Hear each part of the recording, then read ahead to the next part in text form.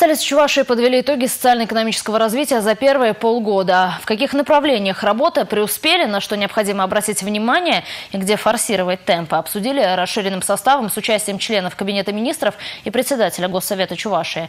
О некоторых цифрах далее в выпуске.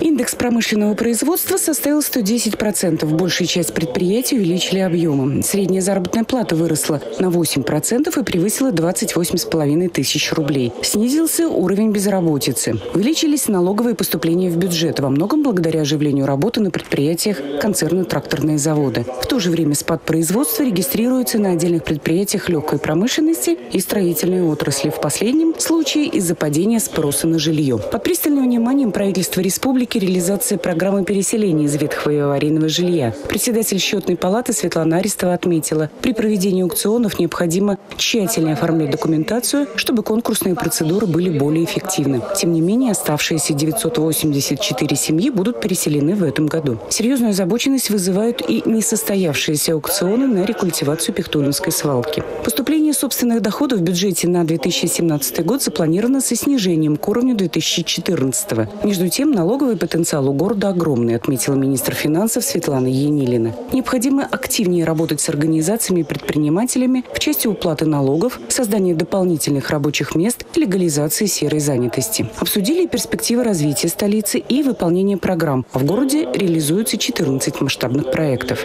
Подробнее об этом на следующей неделе в программе «Республика».